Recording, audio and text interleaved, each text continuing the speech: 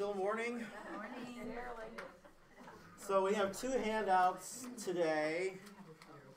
One uh, has some of the poetry Bonhoeffer wrote when he was in prison. Uh, the first one uh, we heard last week in the presentation, Who Am I? Um, and then there's a second one called The Death of Moses, uh, which uh, I will read later in the presentation. Uh, and then uh, the last one is uh, Von guten Mächten Um, powers of good or by gracious powers or by gentle powers. That's what you heard playing in the background, and that's what our hymn throughout Lent uh, is, is based on. That Bonhoeffer wrote uh, at the end of 1944. And then we also have another sheet. Uh, today we're talking about Bonhoeffer's thought and theology. And uh, near the end of the war, in Bonhoeffer's letters, he writes about a world come of age and a religionless Christianity, um, which I'll talk about later uh, near the end of today's presentation. But this gives some uh, some guidelines about those thoughts. Uh, it's it's pretty deep. It's probably the most dense part of what we're talking about today. So this helps outline some of that and see some of what he had to say along those lines.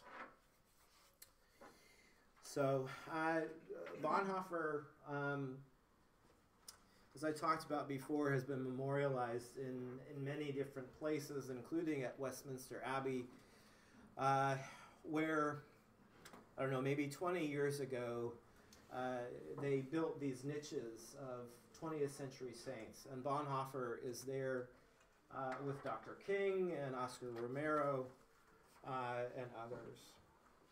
So, as I said, today we're talking about Bonhoeffer's theology and thought so, like anyone, he had uh, theological influences. Uh, he comes out of this uh, German liberal school of theology, and he's reacting against that. Uh, just as we react against our parents, Bonhoeffer is reacting against his theological parents. Uh, but he ends up kind of placing himself in the middle between his current generation's uh, form of theology called neo orthodoxy, which I'll talk about in a minute, and the kind of German liberal theologians he learned under in Berlin. So, Adolf von Harnack um, was one of his teachers at the University of Berlin. So, he he traced the history, the chronology of dogma within the Christian church. Um, as it says, from the fourth century to the Reformation. And he he addressed the connection of Christianity or Christian faith and Greek philosophy. Um, and he said that they were so melded together um, that many so called Christian beliefs aren't authentically Christian because they're so informed by Greek philosophy. He denied the possibility of miracles, but argued that Jesus may have done things um, like healings that seemed miraculous. Uh, Bonhoeffer will reject most of what Harnack teaches, um, although, as it says, he was impressed by his passion for truth and his integrity. Karl Holl, um, very much a Lutheran theologian, um, he helped bring about this Luther Renaissance. So um, it, it would have been the two, 375th anniversary of the Reformation. Holl is really one of the central theologians returning this emphasis back on Luther. He emphasizes justification of faith. So this is Reinhold Seeberg. Uh, he was Bonhoeffer's dissertation advisor. Um, and he was really all over the place. So, historical theology, early Christianity, Luther, Duns Scotus, who was an early Scottish saint.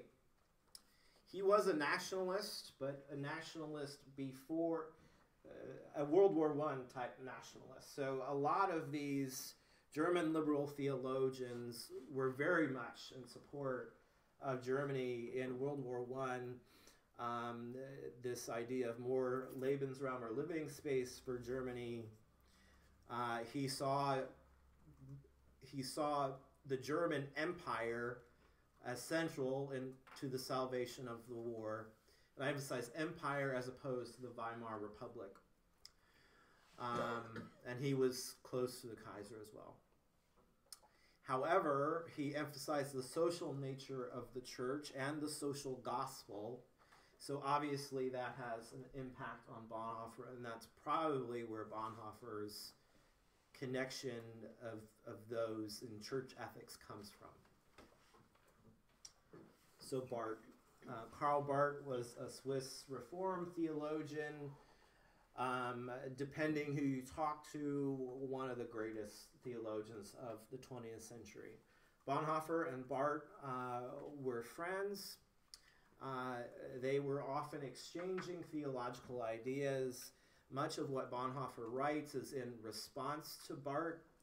Uh, they don't agree on everything, but they definitely are in the same school of thought. Um, and Barth um, very, very opinionated. He knew that he was known as the greatest theologian, and he uh, he he didn't bother to tell anyone if he, if uh, he thought that they were really on the wrong track, and he certainly would tell Bonhoeffer that, um, including when uh, Bonhoeffer went to go pastor churches in London, Barth said, What the heck are you doing leaving Germany right now? We need you there. And then um, when Bonhoeffer was doing all this traveling during the war as this double agent in the Abwehr, of course, Barth had no idea about that, but he challenges why and how are you able to do all this travel when none of the rest of us are doing it? He was, he was very concerned that Bonhoeffer had gone to the other side. So they had this very interesting back and forth uh, relationship. So, um, as I said, they both reject the 19th century's liberal theology with its focus on human religion. Barth has this emphasis on the theology of grace revealed in Jesus Christ as the Word of God, uh, rather than revelation coming from uh, nature. Um, so Bonhoeffer early on critiques Barth for interpreting God's freedom as freedom from the world rather than freedom for the world, freedom to uh, be with the community of the world. Um, he works to recover the doctrine of the Trinity. Um, and then Barth's view of salvation is based on Christ. It's Christological, so Christology is uh, the study of Christ or what we believe about Christ, um, stating that in Jesus Christ the reconciliation of all mankind has already taken place and that through Christ uh, humans are already elect and justified. So that's kind of uh, basic Barth, and Barth was just absolutely prolific. Sanctorum Communio is uh, Bonhoeffer's first dissertation and his first book. It means the communion of saints. It is uh, very, very dense. Um, it reads like a doctoral dissertation. Um, so uh, he publishes, he write, completes it at age 21. He publishes it in 1930. Um, the concept of person and ethical relation to the other. Uh, so again, going back to Barth's idea of God's freedom. Christian freedom is being free for the other, not being free from others. So the reciprocal relationship of persons and community. Uh, and he deals with that from an anthropological uh, perspective. So, um, a couple of pieces from from his uh, dissertation. The nature of the church can only be understood from within, cum ira et studio, meaning with passionate zeal, never by non participants. Only those who take the claim of the church seriously not relativizing it in relation to the other similar claims of their own rationality, but viewing it from the standpoint of the gospel can possibly glimpse something of its true nature. So, uh, Bonhoeffer takes the topic of sin very seriously. Uh, in his writings, he has later lectures called Creation and Fall, uh, which uh, deals with it um, more head on. But he talks about the original creation at the very beginning, rooted in perfect love uh, between the relationship between the creator and the creation.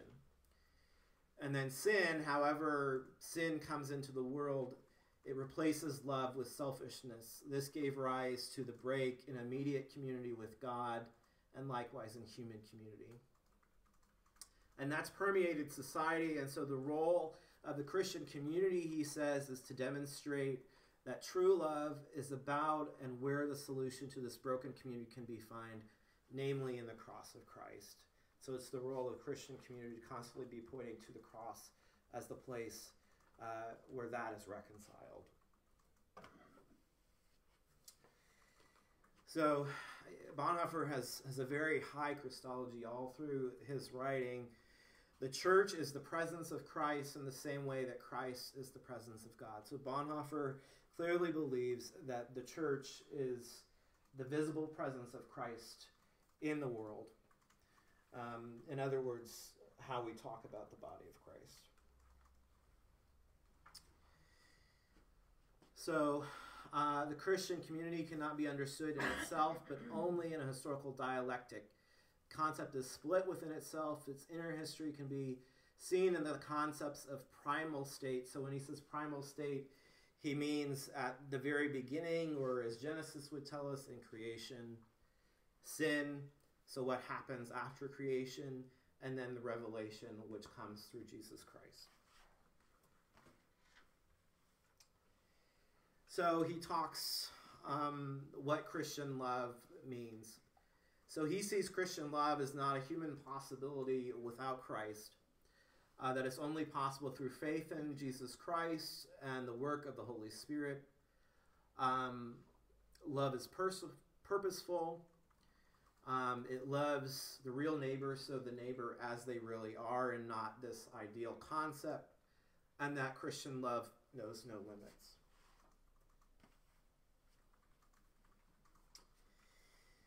So Sanctorum Communio, and, and this is a book that was recently uh, written about it, and um, Bonhoeffer's dissertations really have, have been overlooked, partly because they are so dense and so difficult to understand.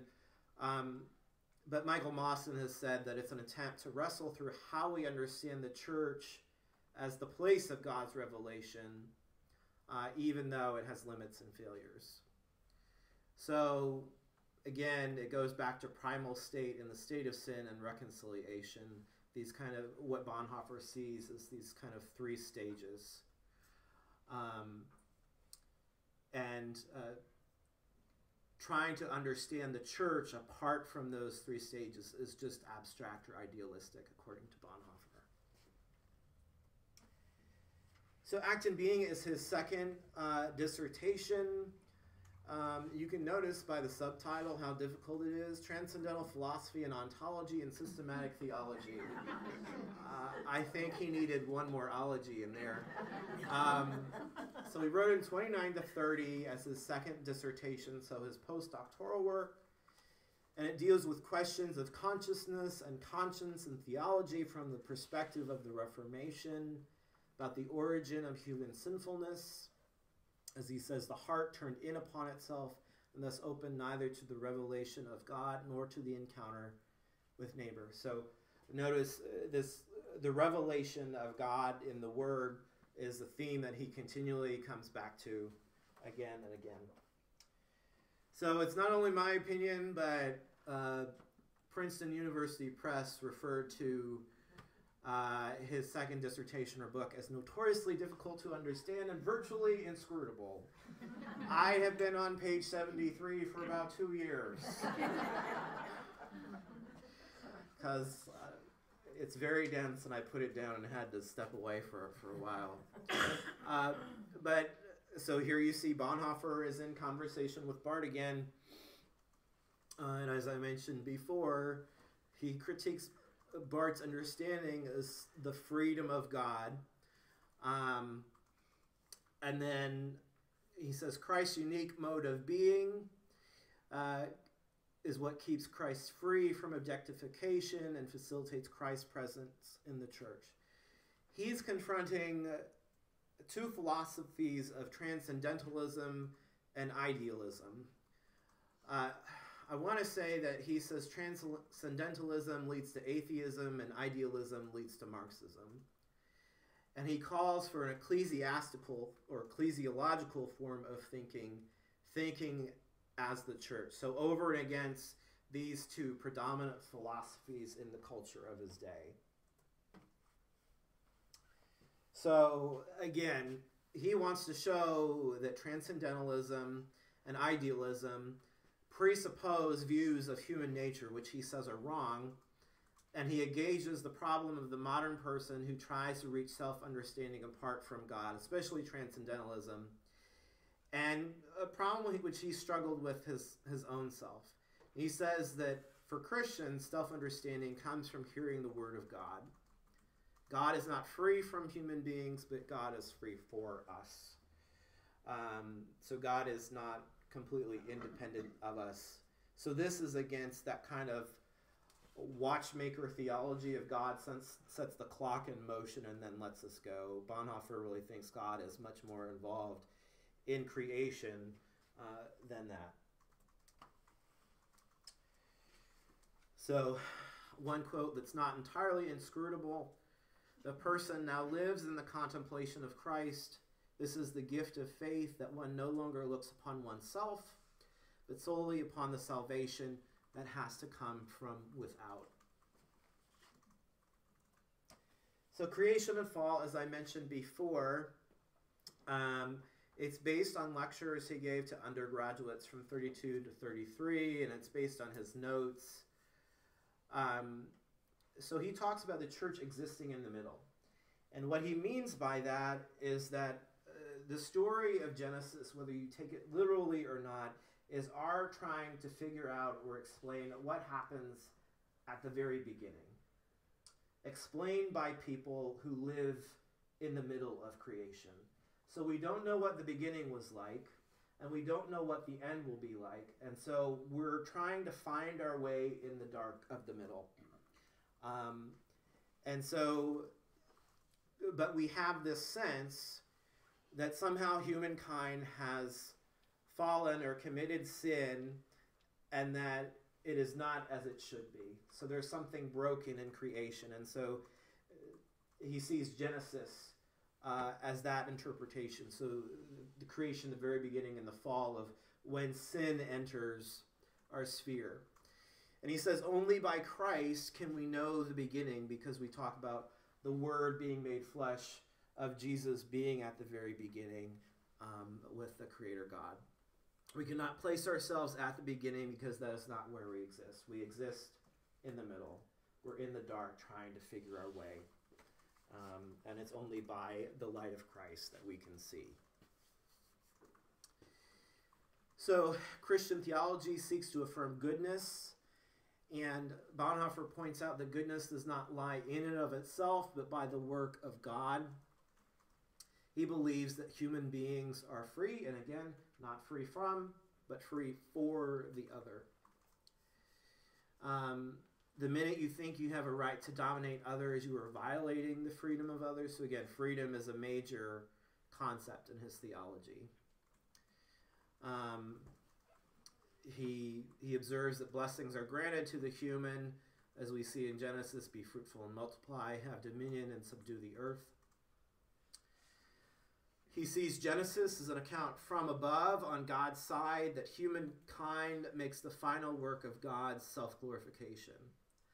Uh, so he's talking about the two different Genesis accounts. There are two different creation stories in Genesis that follow one after another. The second account is about God's nearness to creation. It's a way of talking about God for humankind. So he sees that in the beginning, life was not problematic, so creation. And then, um, so God is at the center of that life. Life is in the center, is dependent on God. Um, and the tree uh, in the Garden of Eden is, is the symbol of God being taken out of the center of our lives. The theological question is not a question about the origin of evil, but one about the actual overcoming of evil on the cross. It seeks real forgiveness of guilt and reconciliation of the fallen world. God's work has been created. We have been created for the final peace, for the day of resurrection of Jesus Christ, for the day of the final resurrection, and the rest of the Creator with the creatures the Creator has made, that they may rest from their labor and their works follow them. Once again, being free for the other because I am bound to the other only by being in relationship with the other am I free. The fact that God is free means nothing else that we are free for God. And a last quote from it. The end of Cain's history, so Cain and Abel, Cain killing his brother, leads to Christ on the cross, the last desperate assault on the gate of paradise. The trunk of the cross becomes the wood of life, the tree of life, the cross of Christ, the center of God's world. That is fallen but upheld and preserved that is what the end of the story about paradise is for us. Now we get to the good stuff. So, discipleship or Nachfolge uh, in, in German, or as it's been translated in English, cost of discipleship. This is published in 1937. This is a classic of Christian literature. Uh, it's been read by millions of people, and he wrote it while he was leading his illegal seminary in Pomerania at Finkenwalde. And so, as, as I mentioned last week, they have this essentially what is a Protestant monastic community. And so he's reflecting on what discipleship really means in that time where he's training these ministers illegally, but also while the church is still struggling on how do they address the Third Reich. He does not directly address or, or mention what is going on with Hitler and the Nazi Party and everything else, but it's it's all in the subtext. Much like the Bible. Yes. so he, as I've mentioned before, he's interpreting the Sermon on the Mount for everyday life. Like I mentioned last week, there's this Lutheran. There is an old Lutheran idea of what Jesus is saying in the Sermon on the Mount is so difficult that it really just points to our sinful nature of how difficult it is for us to follow. Bonhoeffer says, no, that's wrong. Jesus really wants us to do what he says to do uh, in the Sermon on the Mount. He talks about cheap grace and costly grace. So, Bonhoeffer, like most Christians, believes grace is free but grace calls us to discipleship, as the as the title of the book would indicate. Um, he may have learned this concept of cheap grace from Adam Clayton Powell, who's the pastor of the African American Church in Harlem in New York, where he attended when he was in fellowship at, at Union Seminary. So this is uh, what he says, and you saw some of this last week. Cheap grace is the grace we bestow on ourselves.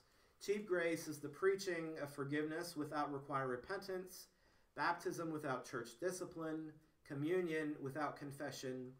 Cheap grace is grace without discipleship, grace without the cross, grace without Jesus Christ living incarnate.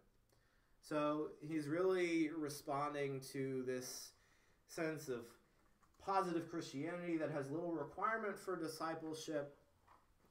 But also remember, he is ordained in a state church where you do weddings for everyone, whether they're all technically members of your thousand to five thousand member parish, but do you see them on Sundays? No, of course not. And you're doing baptism and confirmation for all of those same people without requiring discipleship from them. So, from my perspective, that's where he's he's writing from. So, costly grace on the opposite side of that. Costly grace is the gospel which must be sought again and again and again, the gift of which must be asked for, the door at which man must knock. Such grace is costly because it calls us to follow, and it is grace because it calls us to follow Jesus Christ. It is costly because it costs a man his life, and it is grace because it gives a man the only true life. It is costly because it condemns sin, and grace because it justifies the sinner. Above all, it is costly because it cost God the life of his Son. Yea, ye were born, bought at a price, and what has cost God much cannot be cheap for us. Above all, it is grace because God did not reckon his Son too dear a price to pay for our life, but delivered him up for us. Costly grace is the incarnation of God. So Bonhoeffer deals with the issue of sin and grace in, in both hands. Um, he's not afraid to deal with, with those issues, and we in the mainline kind of shy away from one part of that. So um, he talk so in discipleship, he talks about monasticism as the faithful remnant for much of the church's history. So people who go into the religious orders, monks and nuns, um, set aside. Uh, for for much of Christian history, it was pointed well. Again, it's it's just so hard to follow Jesus, but the monks and nuns are doing it for us, so it's okay that that we're not really doing the thing. Um, so Bonhoeffer says monasticism was represented as an individual achievement which the mass of laity could not be expected to emulate. The commandments of Jesus were limited to a restricted group of specialists, and a double standard arose a maximum and a minimum standard of church obedience. So the monks and nuns were at the maximum level, and then everyday laity church members were at this minimum level. And Bonhoeffer sees this as kind of uh, this great problem in the history of the church. And so it leads to this lower standard for the rest of us as long as we can point to those in religious orders and saying, well, they're doing it for us. So Bonhoeffer says the price we are having to pay today in the shape of the collapse of the organized church is only the inevitable consequence of our policy of making grace available to all at too low a cost. We gave away the word and sacraments wholesale. We baptized, confirmed, and absolved a whole nation without condition. And I think he's reflecting directly on the state church model there. Our humanitarian sentiment made us give that which was holy to the scornful and unbelieving, but the call to follow Jesus in the narrow way was hardly ever heard. So it's not people's fault that they go to the minimum because they have not heard this narrow way preached from the pulpit. Luther Bonhoeffer says Luther said that grace alone can save. His followers took up his doctrine and repeated it word for word, but they left out its invariable corollary, the obligation of discipleship. So, some other points from discipleship. So, the body of Christ is the ground of salvation.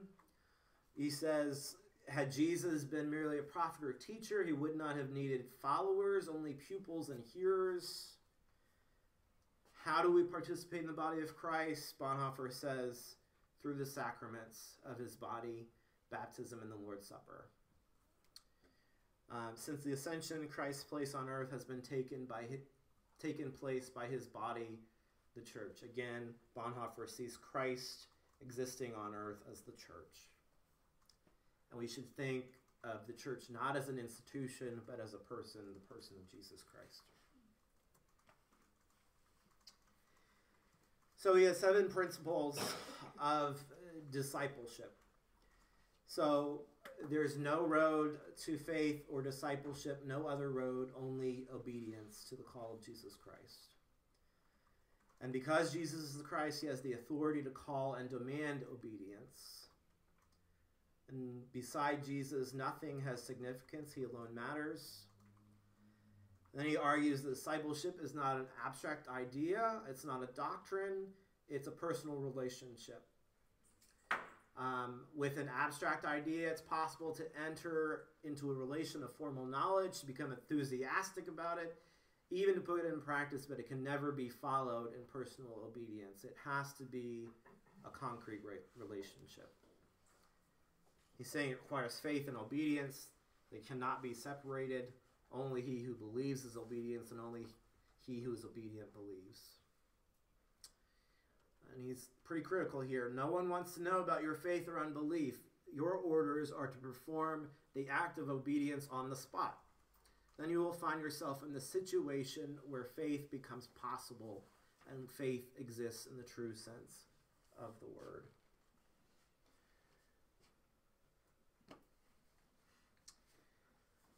So he says, Nothing could be more ruthless than to make men think there's still plenty of time to mend their ways, to tell men that their cause is urgent that the kingdom of God is at hand is the most charitable and merciful act we can perform, the most joyous news we can bring.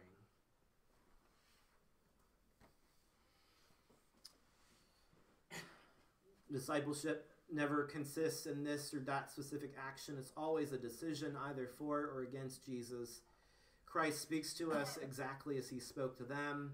It was not as though they first recognized him as the Christ and then received his command. They believed his word and command and recognized him as the Christ in that order.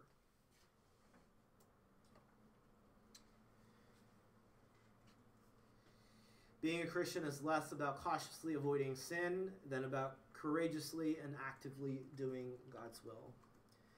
Bonhoeffer says that um, action comes not from thought, but readiness for responsibility.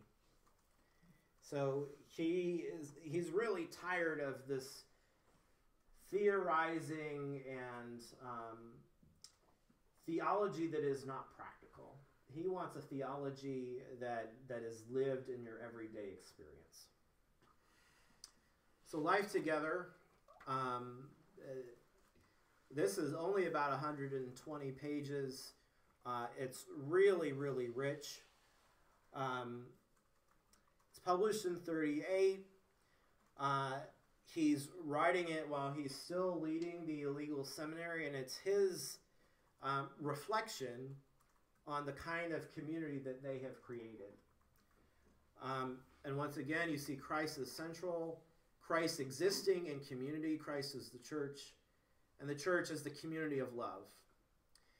And he says any congregation, any church community will remain sound and healthy only where it does not form itself into a movement or an order or a society or a collegium pietatis, which is um, kind of a pious community or a communion of uh, pietist people, but rather where it understands itself as part of the one holy Catholic Christian church.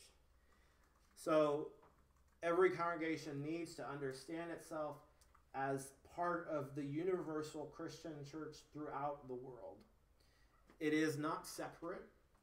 Um, it is not the church that has it right over and above everyone else in the Christian community. Do you get the feeling that most theologians wrote for other theologians and not for the Oh, yes. you definitely see that in his early work when he's writing to his professors. Life Together and Cost of Discipleship, there's certainly some thick stuff in there, um, but it's much more accessible. And there's a reason that those two have become spiritual classics. I have a friend whose his entire church is reading Life Together, and it's probably the easiest to read of of what he's written for for the layperson, um, and it's and it's very practical. He orders out. Um, get to in a moment the the day together with the community, what that should look like, and what your day alone as a Christian should look like. Um, But he says Jesus Christ lived in the midst of his enemies. At the end, all his disciples deserted him. On the cross, he was utterly alone, surrounded by evildoers and mockers. For this cause, he had come to bring peace to the enemies of God. So the Christian, too, belongs not in the seclusion of a cloistered life, but in the thick of foes. There is his commission, his work. The kingdom is to be in the midst of your enemies, and he who will not suffer this does not want to be of the kingdom of Christ. He wants to be among friends, to sit among roses and lilies, not with the bad people, but the devout people. So even though Bonhoeffer has established the pseudo monastic community, um, he sees that cloistered life, life in the monastery or convent, as not what we're called to. We're called to be out in community. So we have these same practices spiritually, but we're called to be with people outside the church. Well, even within the church, people that may think differently than we do. Right. today. I mean, I think about like the Wednesday night crew, we're not there to be a group of people who all think the same way. And therefore, we sit there and pat each other in the back. We're Mhm. there to share where we are and what we think and accept everybody where they are and share what we think. Yeah. And it's hard to do. Absolutely. We kind of like to have a group where everybody thinks the same and nobody conflicts Yeah, in any and, way. and he that's talks not- about this idealist vision of what community should look like. Um, and that not being what God wants. God wants us to live into the reality of community and its difficulties and its messiness.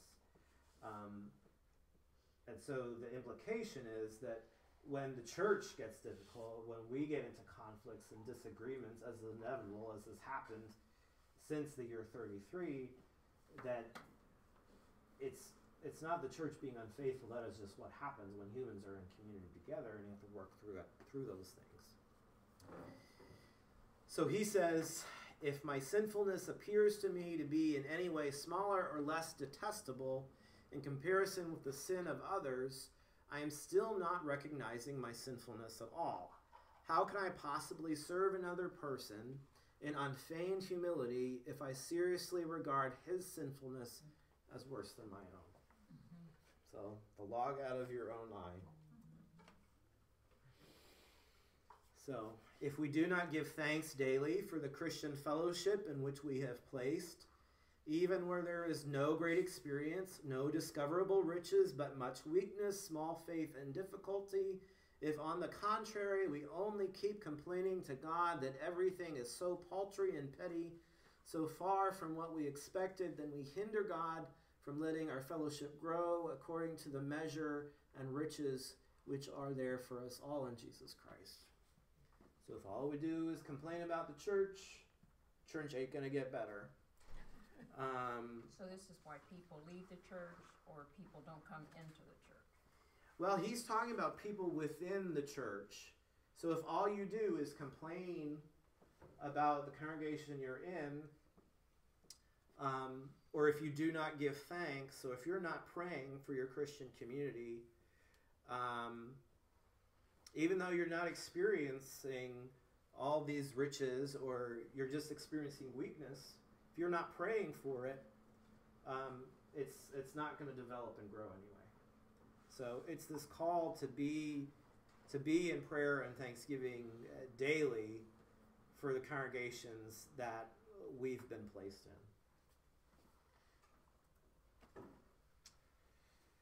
So, as I mentioned, the person who loves their dream of community will destroy community, but the person who loves those around them will create community. So, again, it's this ideal versus the reality of loving the people who God has called into your community rather than this ideal in your mind of what it should be.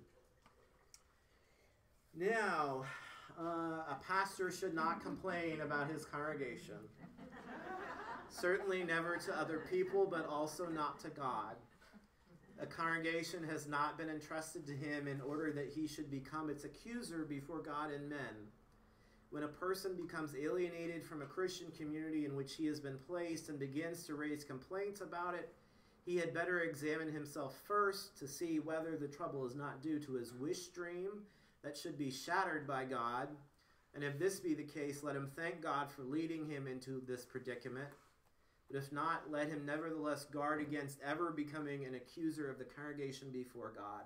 Let him rather accuse himself for his unbelief. Let him pray God for an understanding of his own failure and his particular sin, and pray that he may not wrong his brethren. Let him, in the consciousness of his own guilt, make intercession for his brethren. Let him do what he is committed to do, and thank God. So that's the conviction on my heart. Um, so Bonhoeffer is, is not easy on either side of the aisle.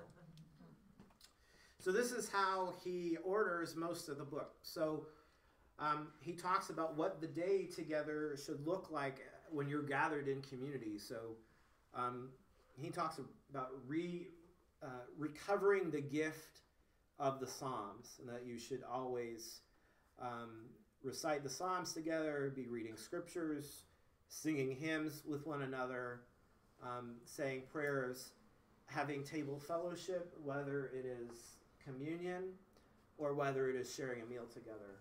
And then, once you have done those things together, then you can go about the work of the community together. When we're alone, he says we should be in solitude and silence first, then meditation and prayer, and then intercession, so praying for others. He talks about different modes of ministry holding one's tongue, being meek, listening, helpfulness, bearing each other, proclaiming the word, and showing authority. Can you say something more about the last one? What, what does Sure. that mean? Um, so, being responsible for the community that's gathered, um, and uh, being responsible for uh, church discipline, how the community orders its life together. Um, being willing to be a leader might be. Yeah, a certain part of certainly showing leadership and vision for the community.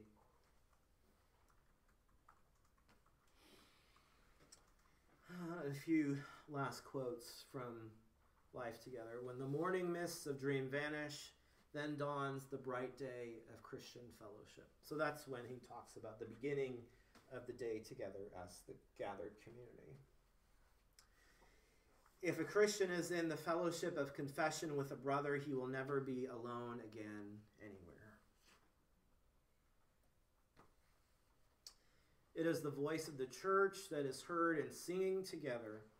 It is not you that sings, it is the church that is singing, and you, as a member of the church, may share in its song. And there's a difference between church with a big C and a small c. So, big C is the church universal throughout the world, gathered as the body of, of Christ, versus small c church, which is a local congregation. Self justification and judging others go together, as justification by grace and serving others go together. It is grace, nothing but grace, that we are allowed to live in community with Christian brethren. So, lastly, again, the centrality of Christ for Bonhoeffer, it's the binding force of the community, allowing us to go beyond superficial and self centered relationships to a more intimate sense of what it means to be Christ for others and to love others as Christ has loved us.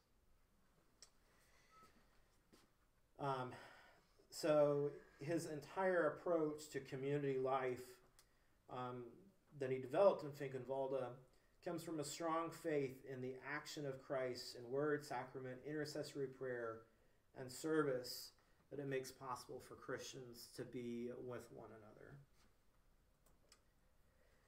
So, ethics. Um, this was incomplete. He was working on this 1940 to 43.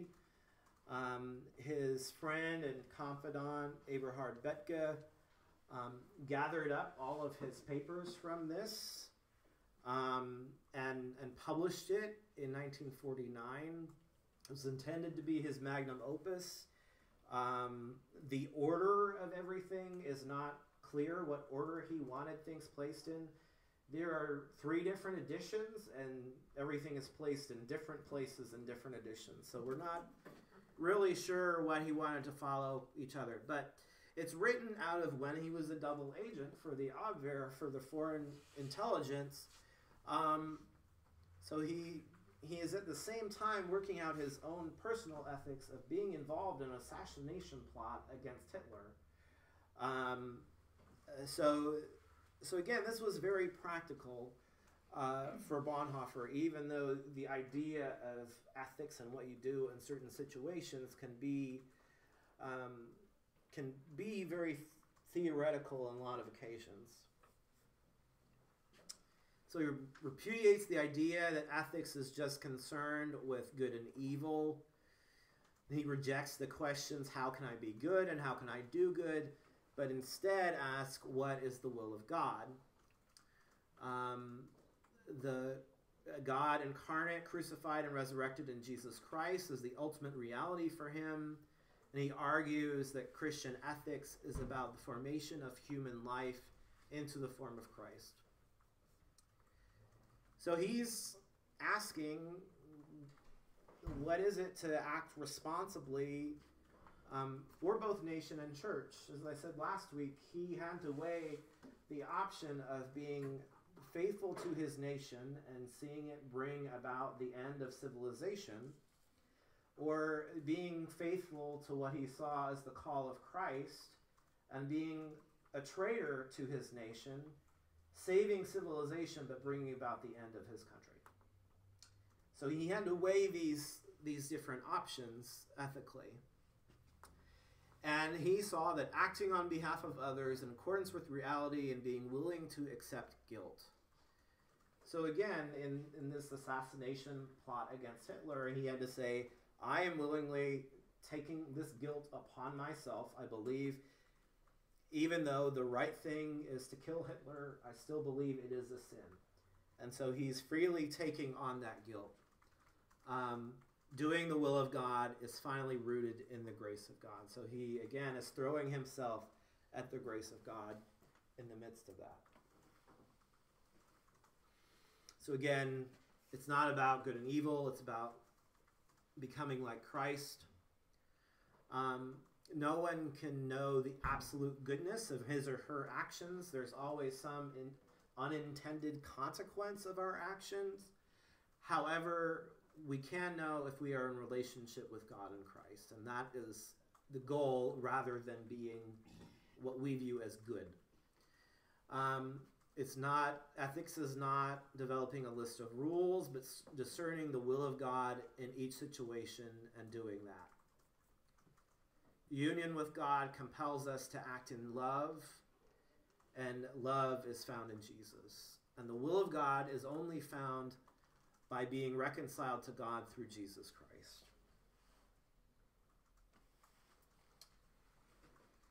So he views the incarnation of Jesus as the place where formation happens and the crucified Christ, the Christ who is seen as a failure in the eyes of the world, uh, it challenges a world based on the idea of success. Um, that is why the arraigner's of history never cease to complain that all success comes of wickedness. So he's arguing against the Enlightenment.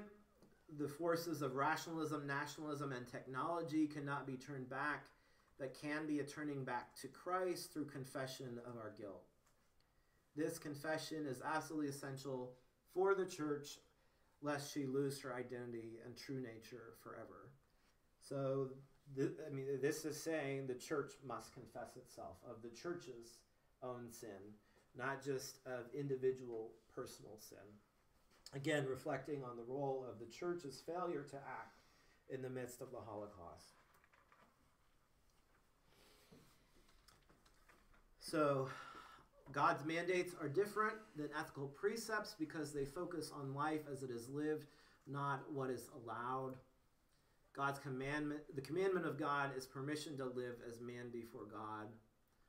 Um, There are specific commands always to some other person to concrete situations and circumstances. It is not theoretical for Bonhoeffer. Um, and the mandates of work, family, church, and the state cannot be isolated from each other or treated in isolation. So the actions of the church have an effect on the state, and the actions of the state have an effect on the church. Um, and if we view our work as a vocation, obviously that affects our role in the church.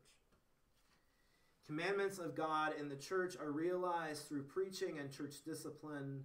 The church proclaims Jesus Christ, the eternal Son of the Father for all eternity, Jesus, the crucified reconciler, and Jesus Christ, the risen and ascended Lord. Does he ever express his attitude towards people of other religions? Um, he does. So uh, in 33, he wrote, um, I forget the exact title, but something like a, a, something like called addressing the Jewish question of what is the church's role in um, in response to people of the Jewish faith. Um, and he's also writing from a perspective of at that time, you know, according to the Nazi ideology of if you had at least one grandparent who was Jewish, then you were Jewish.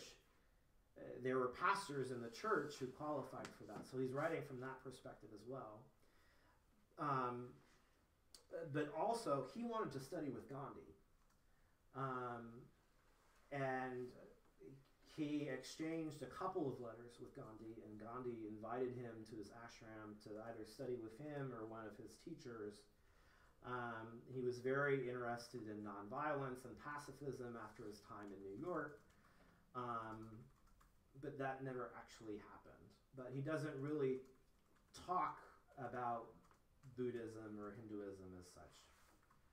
Do you Um, think he would say if people were trying to follow the will of God, whether they profess Christ or not was not the most important thing? Mm, I mean, Christ is pretty central to his his theology, so um, I think I think he would probably say that there's no revel- revelation outside of Christ. Um, but he was certainly willing to be in relationship with people of other faiths. So his theology may have been um, narrow in that sense, but um, in terms of how he viewed salvation and redemption and reconciliation, um, but he wasn't shutting himself off from people of other faiths, if that makes sense. So, but uh, it's it's a very good question, especially in light of everything he says. Um, but you also have to remember he's he's writing from a culture that uh, is pretty much only Christian and Jewish. So his his exposure, his experience of other religions is pretty limited. Um, political action means taking on responsibility. This cannot happen without power, and power is to serve responsibly. I really like this one. The task of pastoral ministry, above all else, is to range contingencies for an encounter with the divine. Do and dare what is right, not swayed by the whim of the moment. Bravely take hold of the real, not dallying now with what might be. Not in the flight of ideas, but only in action is freedom. Make up your mind and come out into the tempest of living. God's command is enough, and your faith in Him to sustain you. Then at last, freedom will welcome your spirit amid great rejoicing. The figure of the crucified invalidates all thought which takes success for its standard. The Christian life is participation in the encounter of Christ with the world. So, uh, his last writing that we have. So, letters and papers from prison uh, were written from his arrest in April of 1943. to February of 1945 is when we have his last letter. Um, that is when he was transferred to um, to the concentration camps. So he he was in prisons, um, Prince Albrechtstrasse prison in Berlin, where uh, he was able to write letters to his parents and his fiance and his friends. Uh, and they were able to bring him books and things. Um, so once he gets transferred elsewhere, that's when those stop. Um, so he dies three months after the last letter we have from him.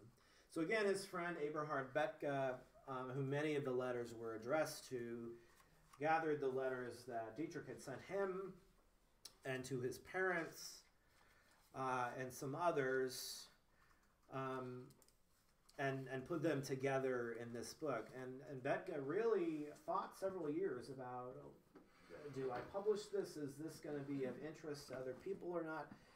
And it's the publishing of this book that really uh, introduces the world to who Bonhoeffer was, um, to his story.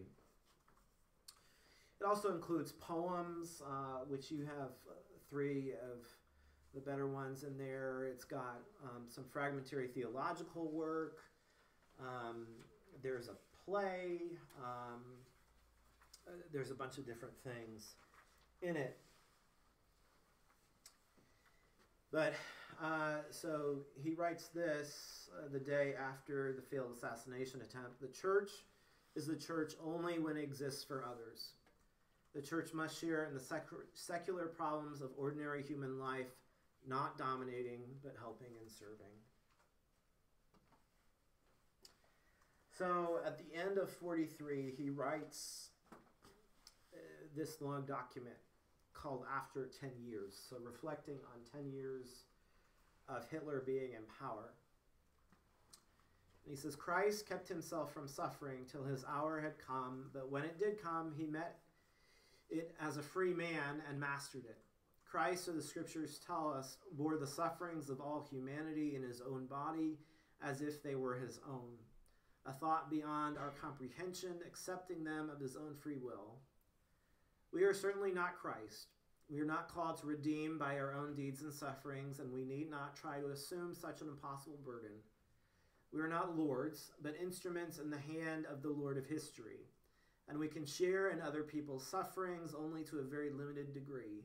We are not Christ, but if we want to be Christians, we must have some share in Christ's large heartedness by acting with responsibility and in freedom when the hour of danger comes, and by showing a real sympathy that springs not from fear, but from the liberating and redeeming love of Christ for all who suffer.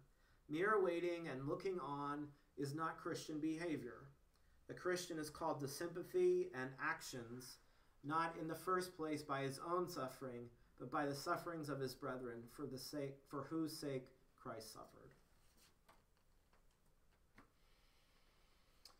This is also from that same document. We have been silent witnesses of evil deeds. Many storms have gone over our heads. We have learnt the art of deception and of equivocal speech. Experience has made us suspicious of others and prevented us from being open and frank. Bitter conflicts have made us weary and even cynical. Are we still of any use? It is not the genius that we shall need, not the cynic, not the misanthropist, not the adroit tactician, but honest, straightforward men. Will our spiritual reserves prove adequate in our candor with ourselves? Remorseless enough to enable us to find our way back to simplicity and straightforwardness. So, this is the first letter we have to his parents. This is about a week after he's imprisoned. Um, and in this letter, he's, he's really deflecting. He, he wants to reassure his parents that he's, he's okay. Um, my dear parents, I do want you to be quite sure that I'm all right. I'm sorry that this is the first time I've been allowed to write to you. It was quite out of the question during the first 10 days. To my surprise, the discomforts you usually associate with prison life, such as physical hardships, don't seem to trouble me at all. In the prison courtyard, there is a thrush which sings a beautiful little song every morning, and now he has started in the evening too. One is grateful for the little things, and that also is a gain. Goodbye for now.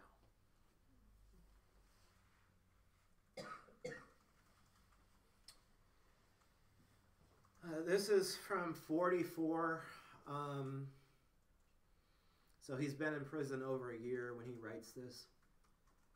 My thoughts and feelings seem to be getting more and more like the Old Testament, and no wonder I've been reading it much more than the New for the last few months. It is only when one knows the ineffability of the name of God that one can utter the name of Jesus Christ. It is only when one loves life and the world so much that without them everything would be gone that one can believe in the resurrection and a new world. It is only when one submits to the law that one can speak of grace and only when one sees the anger and wrath of God hanging like grim realities over the head of one's enemies that one can know something of what it means to love them and forgive them. So, this is his last letter to his parents. Um, he dies about four months later, um, and his parents, as I said last week, don't find out until July. So this is the last they hear of their son. Dear parents, the last two years have taught me how little we can get along with, but every day thousands are losing all they have. And when we remember that, we know that we have no right to call anything our own. Is HW really fine in the East and ours husband? Many thanks for your letter. I read all my letters, though, until through until I know them by heart. Now, a few requests. I was disappointed not to receive any books today. Commissar Sonderegger would quite willingly accept them every now and then. I would be most grateful. Also, there were no matches, face cloths, or towels this mm-hmm. time. Pardon my mentioning the subject, otherwise, everything was wonderful. Could I please have some toothpaste and a few coffee beans? And Dear Papa, from the library Lienhard and Abendstunden eines Einsiedlers by H. Pestalozzi, Social Pedagogy by P. Natorp and The Lives of Great Men by Plutarch.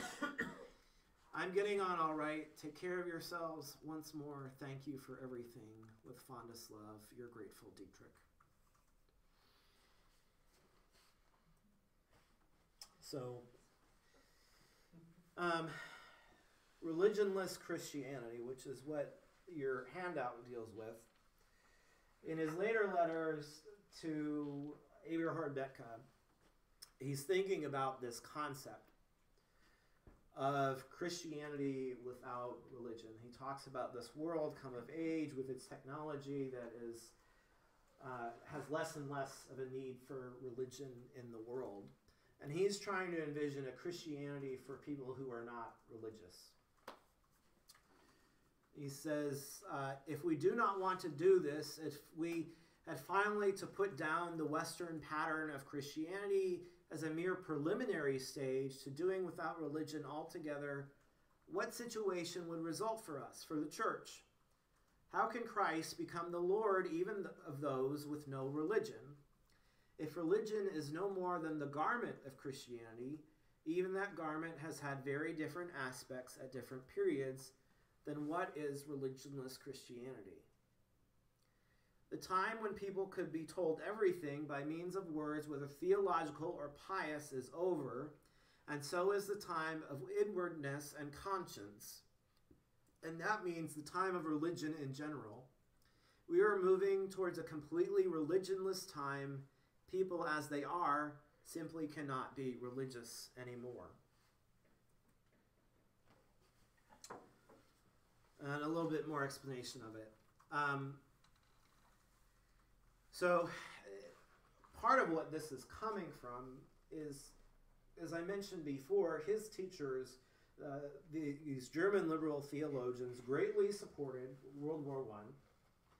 Dietrich saw his 18-year-old brother lose his life in World War One. Um, you see all of these men coming back from the war without limbs. Uh, the Kaiser abdicates. you you go through 15 years of a failed republic.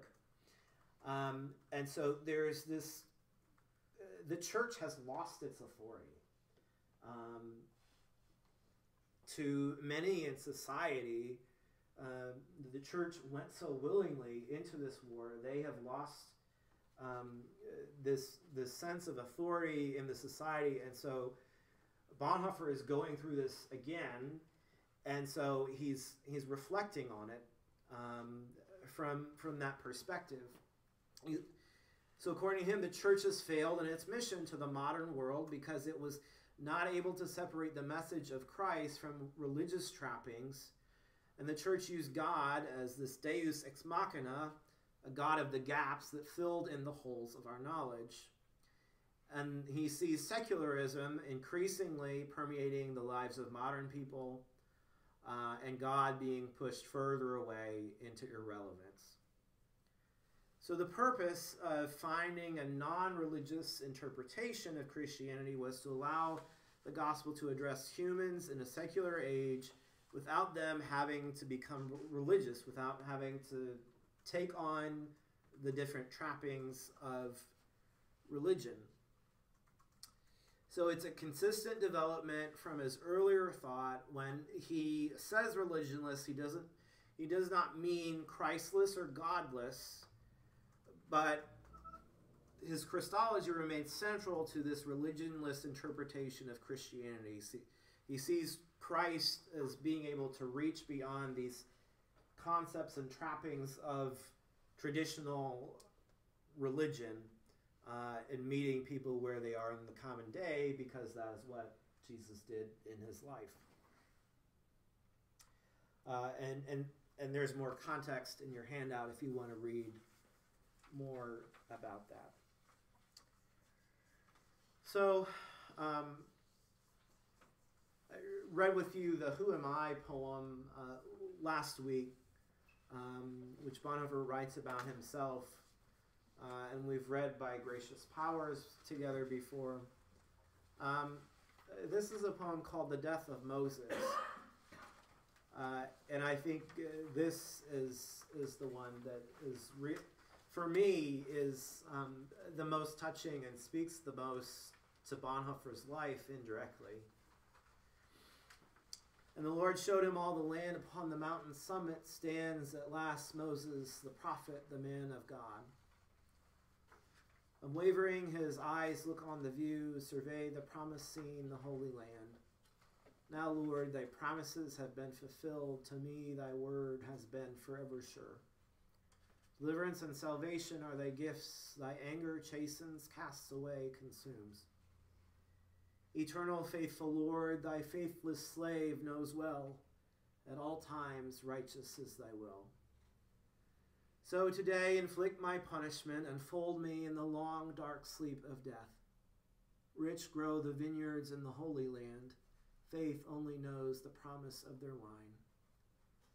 Pour for the doubter then his bitter draught, and let his faith proclaim thy thanks and praise. Wondrous the works which thou hast done by me, changing my cup from gall to sweet delight. Grant me to witness through the veil of death my people their high triumphant feast. I fail and sink in thine eternity, but see my people marching forward free. God who punishes sin and willingly forgives, I have loved this people. That I have carried its shame and burdens and seen its salvation, that is enough. Seize me, hold me, my staff is sinking. Faithful God, prepare my grave. So, I mean, Bonhoeffer knows his end is coming, um, and he's he's really reflecting on that here. So finally, when Christ calls a man, he bids him come and die. Death in Jesus Christ, the death of the old man at his call. Jesus summons to the rich young man who was calling to him because only the man who is dead to his own will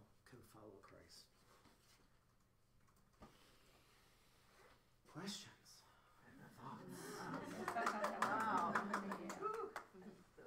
That is the densest of all of our sessions.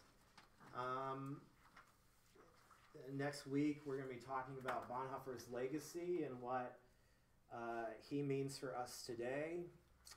Uh, we'll be looking at um, a video from Reggie Williams, who's an African American theologian who deals with Bonhoeffer's work, and other folks, and um, you know what it means uh, for the times we're living in.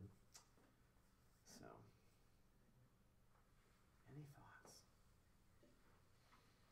I had this saying, I think it was on a poster that kind of stuck with me through my entire ministry, and somehow I feel like it's related to all the things that Bonhoeffer was saying, and I don't know who said this originally, it may have been him, but it, it, the sign of God is that you will be led where you did not plan to go.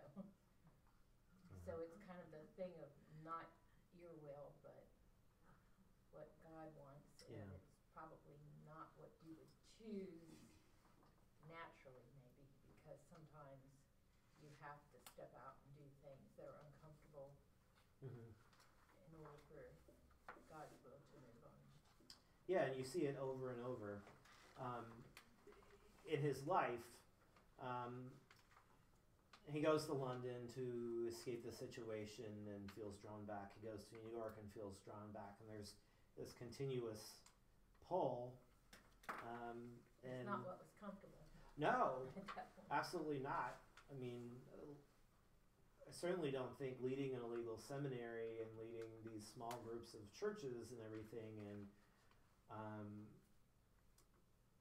becoming a double agent were not were not in his plan. I think had it been up to Bonhoeffer, he would have been teaching at Berlin for forty years um, and ended up like one of those great old white bearded men of theology that he studied under, but he was called to something different.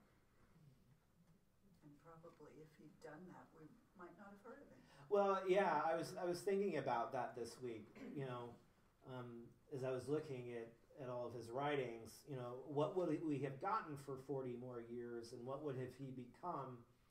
We certainly wouldn't know him in the way we know him now as as this kind of uh, great man of faith who follows against all odds and uh, a martyr. Um, it would, it'd probably just be people in seminaries who, who know his name and and his theology really didn't become important until um, after the letters and papers in prison became published and people became came to know about his personal story and then became interested in, in what he had to say. Because he lived out what he said. Yeah, exactly. Yeah, then it takes on a different meaning. I think we're struck by the, the idea that these things were written, he wrote in the nineteen thirties and forties and how relevant they are and Yeah. parallel to the, Right. the world we now live in. And it's just sort of like, what is, what is my call now? Yeah, yeah. Sojourners had an article. Sojourners is a progressive Christian magazine, and they had an article last year um, called "Is this a Bonhoeffer moment?" Um, is this a moment for people with with that voice? And um, we'll talk about that next week. Okay. Great, So- Thanks. Yeah, Mary. So when I was um, in Germany for a Peace and Justice Integrity Creation seminar in '88, a South African couple, missionary couple, was coming through, and they stopped and talked to our group. And what I distinctly remember the most about that whole time is they said to us, because this was when apartheid was still going on, every day it cost us our lives to work for peace and justice. Yeah. What does it cost you, and what are you doing? hmm Yeah. Yeah, and there's there's uh, this South African stream of interpretation on Bonhoeffer out of the experience of apartheid. Um, that's pretty interesting. Thanks, everyone. Thank you. I have a book to recycle